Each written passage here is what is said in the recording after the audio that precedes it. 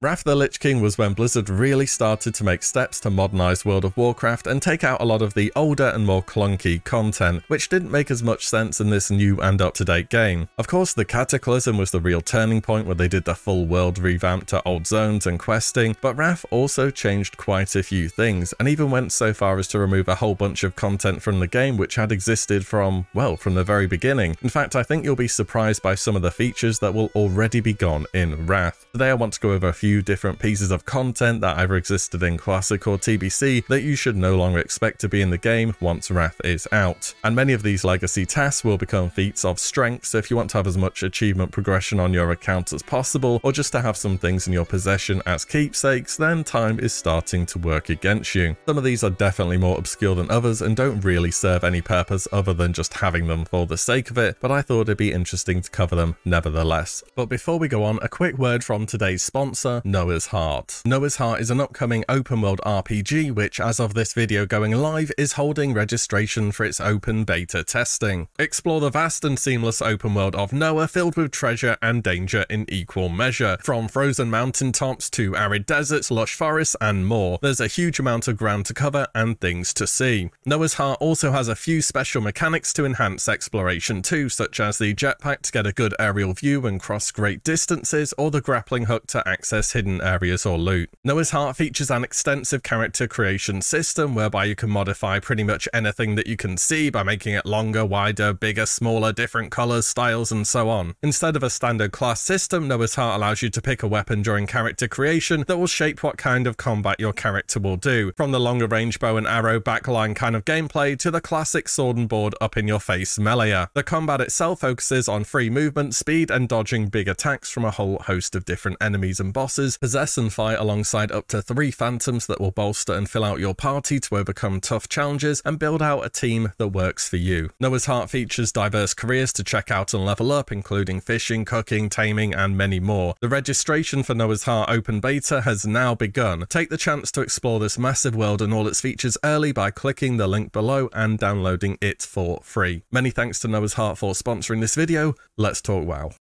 We should start off with some current TBC content that a lot of people missed back in the day, but I feel in Modern Classic is a lot more common. These are the two titles awarded from completing the TBC achievement chains for Tempest Keep and SSC, and later Black Temple and Mount Hyjal. Champion of the Naaru was the first one that was earned. This was a reward added during original TBC after the achievement chain had been removed from the game, to give players that had undergone the full trials of the Naaru a unique reward. The questline started in Shadowmoon Valley with the notoriously long Of Damnation questline, and that led to completing several TBC heroics whilst undergoing some challenges. The final two parts were the Cudgel of Kar'desh, you must defeat Gruul in his lair, and then Nightbane in Karazhan, as well as the Trial of the Naaru, Magtheridon. However, when Blizzard removed this title during the Wrath of the Lich King launch, they left in the quest that could trigger its reward. So if you do have those last two quests in your journal, you can do this quest whenever you want and still get the title. The quests themselves will still exist during Wrath, however they've been moved to a different ID and won't give the title anymore. Hand of A'dal functions in a similar way. To earn this, you need to have completed the Vials of Eternity, which is defeating Lady Vashj in SSC and Kael'thas in Tempest Keep, as well as having completed the Black Temple Attunement questline, which is another very long quest chain starting in Shadowmoon Valley from the quest Tablets of Baa'ri. I'd recommend checking out the Attune add-on if you're interested in either of these as they itemize and go through every single step you need to do really cleanly. Another TBC feature, it feels obvious, but hey, I've got to give it a mention. People would call me out if I didn't. If you're currently one of the four or five people on your server who doesn't have the Amani Warbear, just know it will be removed from the game in Wrath. Zul'Aman itself is a pretty chill raid, even the majority of pugs can hit the timer and get the bear as an extra reward, no problem. If it's something you want from the game, think about it sooner rather than later. Oh, and just to give it a mention, I feel like somebody out there may want to know, no the Zul'Gurub mounts aren't removed from the game in Wrath, that doesn't happen until Cata, when the raid is turned into a dungeon and the drop tables are updated. Though throughout Wrath you can feel free to farm the Raptor and the Tiger mounts then. Let's move on to some raiding content. Naxxramas 40 will no longer be in the game once Wrath releases. It will stop being a raid instance and all of various collectibles or items from it will be removed from the game. The opening tier of Wrath the Lich King Reuses Naxxramas because nobody really saw it in vanilla, so hey, free content, let's copy paste that. Tier 3 gear will no longer be obtainable, you've got to get all that transmog for Cata Classic though, of course, right? Corrupted Ashbringer will restore its status as a legendary item that barely anybody has, and I swear even during the many clears I did of Naxxramas, I only saw a handful of these. The various gear made from frozen runes in the game will be gone, as well as your ability to farm out Atiesh shards to create the legendary staff yourself. So if you're after anything from Naxx 40, then you need to think about that now. Another vanilla raid now, in fact all of them underwent some changes, just to different degrees, but I want to talk about Onyxia, and I'm not quite sure how they will approach this one, but I'd assume it will be in the same way they did things during Wrath. So around patch 3.2, that's Trial of the Crusader, Blizzard removed Onyxia 40 man from the game and revamped it as level 80 content for 10 or 25 man. This new Onyxia had upgraded loot drops reminiscent of all the various things she dropped during vanilla such as Vis'kag or Deathbringer. The mature Black Dragon Sinew also disappeared from the drop table meaning you couldn't complete the Rhok'delar questline but was later re-added to various Dragonkin from the Burning Steppes. She also drops tier 2 items with some updated stats and a variation for each spec that every class had, hint hint Season of Mastery. Moving on though, remember during class Classic when you were making your Thunderfury, part of that was mind controlling a goblin inside Blackwing Lair and then having them teach the person with mining how to smelt Elementium. It was a totally unique interaction, which I personally thought was really cool. I mean, they could have just made the goblin drop a bug to teach you how to do this, but nope, you have to mind control them. Until Wrath the Lich King, that is, because guess what? Yeah, he just drops a bug now instead. Speaking of convenience features, the need for Dowsers to progress Molten Core and eventually be able to summon Ragnaros were also removed from the game. This is part of another pretty long quest line starting from Duke Hydraxis, who has been tactically positioned in literally the worst and most annoying place to get to imaginable. Perhaps that was part of the journey though. Either way, at the end of his quest line, each player can earn an Aqual Quintessence. These were used to douse rooms of the Fire Lord inside Molten Core. Later in patch 1.11, Blizzard added an Eternal Quintessence, which was the same as the other version, you could just reuse it. In Wrath though, if you're doing Molten Core that is, for whatever reason, you go in, you kill the bosses, and that is about it. Real simple. Okay, enough on raids then, let's talk about some classes. Again, I feel like people put a whole lot on Cataclysm for changing this, but Wrath did make a start on it. Part of the rogue's core class fantasy has always been around poisons. From that quest, you have to sneak around high level enemies to then brewing your own concoctions. The rogue from day one of vanilla has had to level up poisons like an additional profession, and in Wrath, well, um, you don't. Brewing poisons as your own skill has been removed from the game. I was kind of surprised when I found out about this. I thought this happened in Cata, but nope, it is in Wrath. The vendors that would previously sell you your poison ingredients now just straight up sell the poisons to you wholesale. And all those materials that went into brewing your poisons now become trash items, though they can still be obtained from lockboxes. Oh, and yes, lockpicking and lockboxes, those are still a thing in Wrath, though you don't need your thieves tools anymore to do it. Next up, have you played a druid in vanilla? Did you remember doing the aquatic form questline? Oh boy, I do, and it was uh,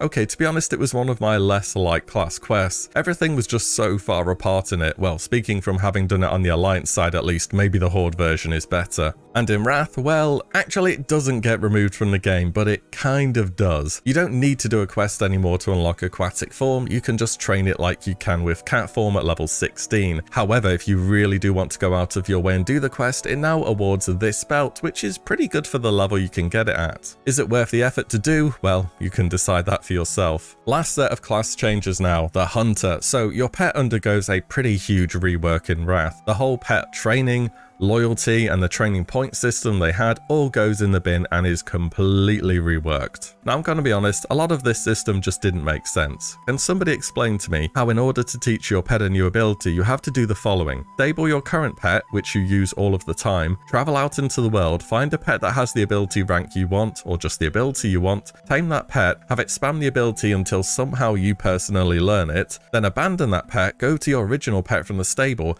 magically teach it what you just learned from that other pet which you abandoned for 5 minutes, and now your pet can use that ability forever. I get a lot of the class flavour and fantasy stuff in old school WoW, but even in a world with magic and dragons, this just doesn't make any sense. Anyways, after being tamed, pets will auto level up to 5 levels minimum below the hunter, and they will take way less time to level, like way way less time. At level 80, pets all have 16 talent points as well as a new talent tree. Pets are either ferocity, which is DPS, tenacity for tanking, or cunning, which is more of a PvP spec. Each pet still had a special ability, such as crabs having pin for instance. And yes, you can respec your pet to a different tree as well. Pet's happiness to increase their damage is still a thing, but it's way easier to keep at maximum since loyalty is now gone. This also means your pet will no longer run away if you just completely neglect it. Pretty much all you have to do is throw them some food every now and again and they are good to go. And yes, in case you're wondering, hunters do still have to carry around a quiver or pouch for their ammo. One final thing that's worth a mention, not in the game yet, but it will be for a short space of time, is all the content that will come with the Wrath of the Lich King pre-patch. Hopefully it's longer than the two weeks we had for the TBC pre-patch this time around, and it's going to contain a bunch of items for a limited time event, such as the Arcanite Ripper or the Blessed Battle Gear of Undead Slaying to name two, but I'll have to sort a proper video out to go over everything in the pre-patch, which will happen a little closer closer to when it'll be. There we go then, a few items, titles, mounts, or just bits of class flavour that will be gone with the expansion. I think it will become more noticeable once we have Wrath for real that it really did start to streamline things quite a bit. It didn't stop it from being hugely successful back in the day though, and I very much expect that trend to return. If there's anything else that you think's big that was removed from the game or matters to you, do drop it down below. And as always, thank you all so much for watching and listening in, and I shall see you in the next one